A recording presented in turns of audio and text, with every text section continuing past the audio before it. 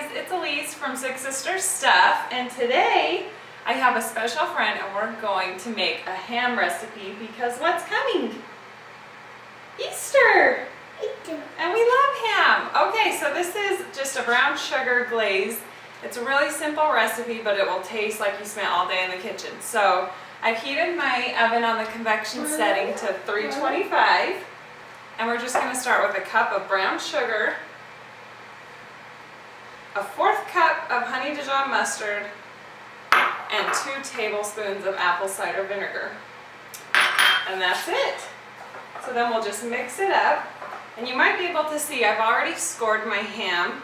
And that just means to cut it into small diamond shaped cuts. And so that way the glaze will soak into the fat and really make your ham crisp on the outside and juicy on the inside.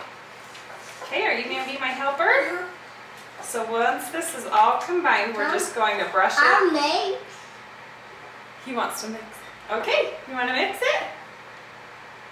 Okay, I think we're ready. Do you want to do the brush? I'll take the back. So then you'll just brush it on the outside of your ham until it's completely covered. You doing it? Uh, it. As you can see, our ham is completely glazed and we're ready to start cooking it.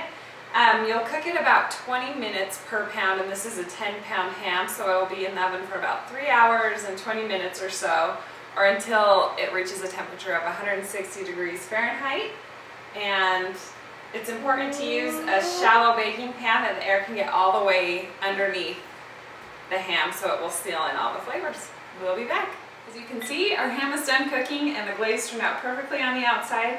We left it in for about three hours, so it was close to 15 to 20 minutes per pound for the ham. And it's nice and juicy on the inside and ready to eat.